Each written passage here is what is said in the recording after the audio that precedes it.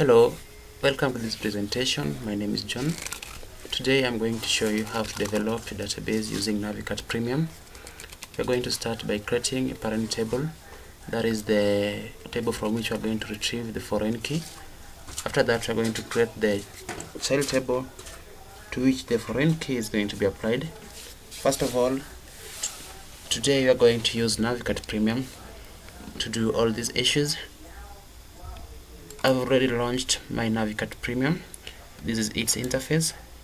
Come here, you right click and create new database.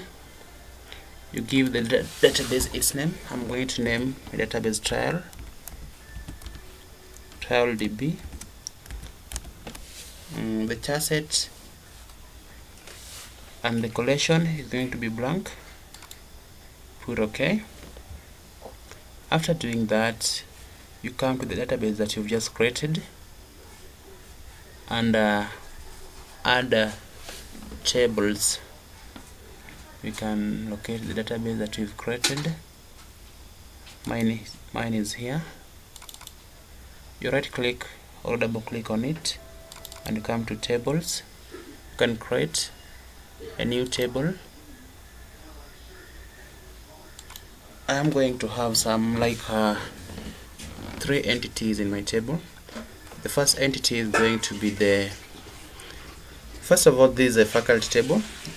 The first entity is going to be the primary key. That is faculty ID faculty ID it is going to be type varchar I'm going to give it a length of 100 I won't allow null here and I'm going to make it primary. We add another entity that is the faculty faculty name. We give it uh, a type of varchar and a length of 100 we don't allow null. Uh, you can also add date can give it a timestamp. It's here. And don't allow null. And save. Give the name that is the faculty.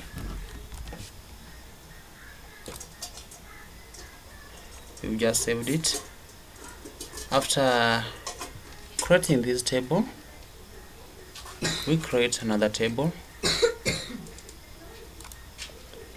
a new table.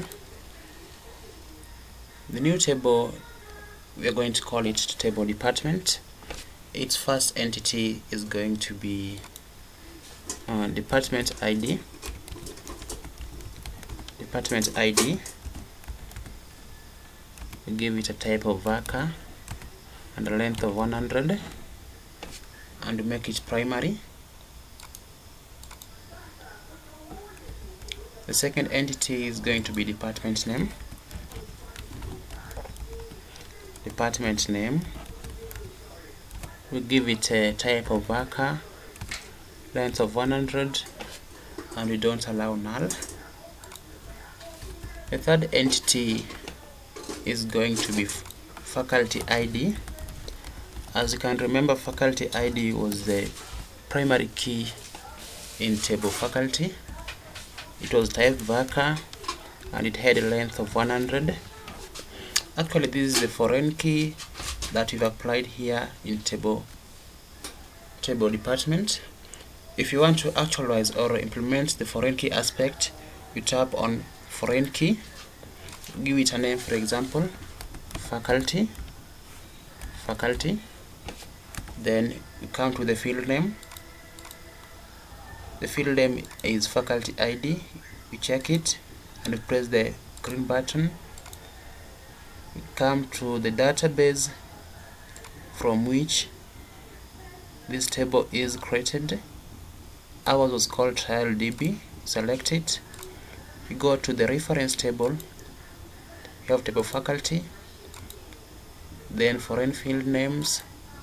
We have faculty ID from the faculty table then on delete we usually restrict and on update you rest or I mean you cascade.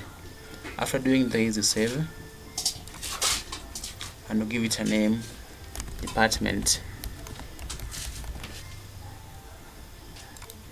Department and you save. You can close this one?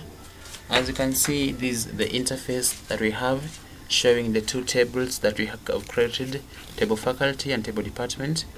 Table faculty was the parent table and table department was the child table meaning that table department cannot exist without table faculty. So generally this is how you create the foreign keys. Until next time thank you for watching this module